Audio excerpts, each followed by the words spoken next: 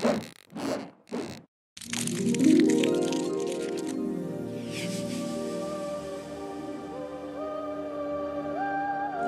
lollipop has evolved sophisticated techniques of attraction.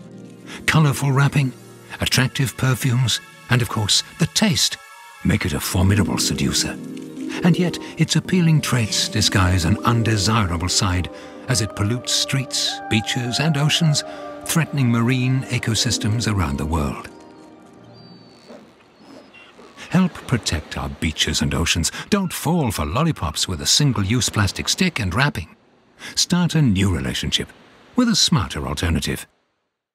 For incurable sugar fans, opt for lollipops with biodegradable paper stick or sweets without a stick and wrapped in paper rather than plastic.